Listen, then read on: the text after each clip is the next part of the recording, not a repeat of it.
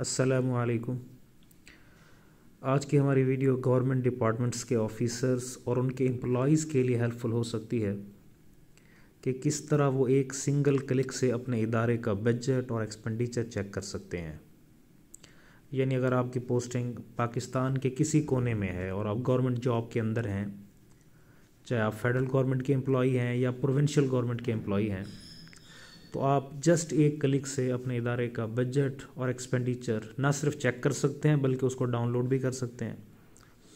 और इदारे के सरबराहान ने मंथली बेस पे ये एक्सपेंडिचर अपने मुतल एजी ऑफ़िस से या अकाउंट ऑफ़िस से रिकनसाइल कराना होता है। तो ये वीडियो बहुत हेल्पफुल है, चाहे वो एजुकेशन डिपार्टमेंट के एम्प्लॉयज़ हैं या प्रोविंशियल गवर्नमेंट के एम्प्लॉयज़ हैं। तो उसके लिए जी आपको क्या करना पड़ेगा? तो उसके लिए हम थोड़ा सा प्रोसीजर देख लेते हैं। कि सबसे पहले आपने एक सिंपल वेबसाइट पे जाना है, जो गवर्नमेंट की ऑफिशियल वेबसाइट है FABS F A B S dot G O V dot P K आपने सिंपली इस वेबसाइट पे जाना है और वहाँ पे सर्विसेज़ के मेन्यू में जाके नीचे बजट एग्जीक्यूशन रिपोर्ट पे क्लिक करना है। तो हम आपको, आपके सामने भी देख सकते हैं कि हम इसको कैसे एग्जीक्यूट करेंगे। तो इसके लिए जो है आपको कुछ कोड्स का पता होना चाहिए। यानी अगर आप डिस्ट्रिक्ट एजुकेशन अथॉरिटी पंजाब के एम्प्लॉयज़ हैं तो उसके लिए आपका code D E A P होगा। और अगर आप पंजाब के अंदर किसी हेल्थ अथॉरिटी के एम्प्लॉयज़ हैं तो आप D H A P type करेंगे।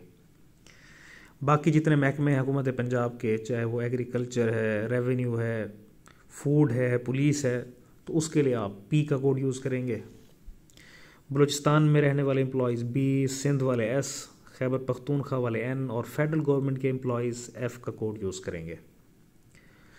तो अब हमने जाके सिंपली हम इसको प्रैक्टिकली देखते हैं कि हम किसी भी इदारे का बजट चेक कर लेते हैं जहाँ पे हमारी पोस्टिंग है। हमने अपने इदारे की इदा, अपने इदारे का ही बजट चेक करना है जहाँ हमारी पोस्टिंग है और जो इदारे का कोड है वो हमारी पे स्लिप पे शो हो रहा होता है। तो अब हम इसको प्रैक्टिकली हम देख रहे हैं अभी। सबसे पहले मैं गूगल के अंदर आया और गूगल के अंदर मैंने जाके simple F A B S dot G O V dot P K type किया फैब्स उसके बाद मैंने इसको इंटर कर दिया।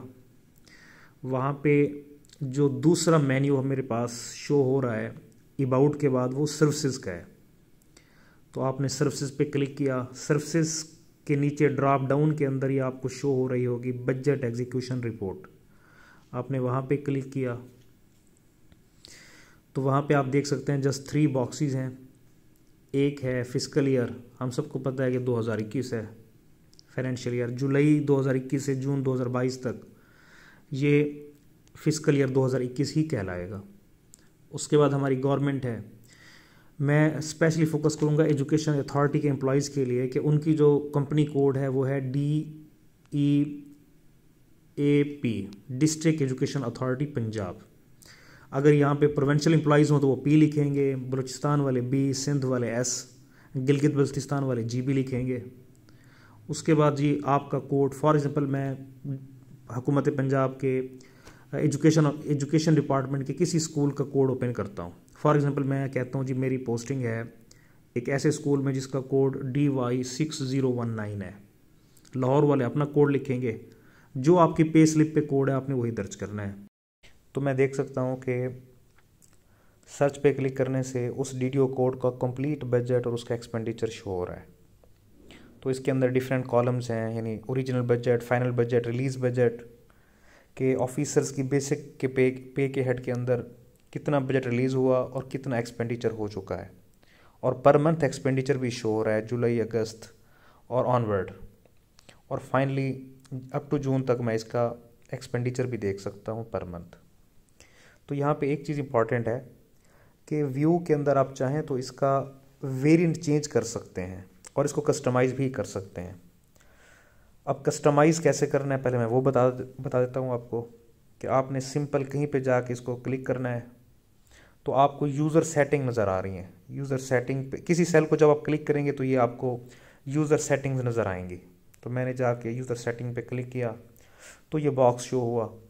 अब एक है हिडन कॉलम्स और एक है डिस्प्लेड कॉलम्स तो मैं चाहूँ तो हिडन कॉलम में से कुछ कॉलम्स ऐड कर सकता हूँ और चाहूँ तो डिस्प्लेड कॉलम में से कुछ चीज़ें रिमूव भी कर सकता हूँ।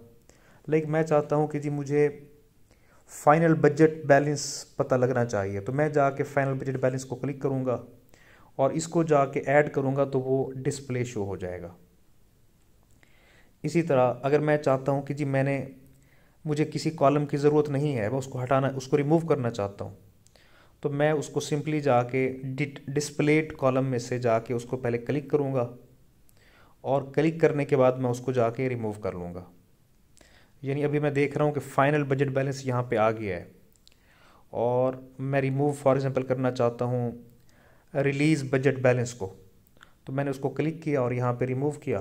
तो ये हम देख सकते हैं कि ये फाइ कि ये यहाँ पे चेंज हो चुका है वेरिएंट ठीक है? एनी हो तो आप इस तरह किसी भी कॉलम को ऐड भी कर सकते हैं और उस किसी भी कॉलम को रिमूव भी कर सकते हैं। और आप चाहें तो व्यू के अंदर डिफरेंट वेरिएंट भी उठा सकते हैं। फाइनली आपने जाके क्या करना है जी? आपने इस पूरी फ़ाइल को जाके सेव कर लेना है। वो सेव कैसे करेंगे? एक्सपोर्ट पे क्लिक करेंगे। वो कहेगा जी एक्सपोर्ट टू माइक्रोसॉफ्ट एक्सिल और आपने वहाँ पे क्लिक करते ये फ़ाइल आपकी, देखें जी, ये सेव हो चुकी है। और वो दे रहा है कि ये फ़ाइल सेव हो चुकी है, मैं इसको ओपन भी कर रहा हूँ।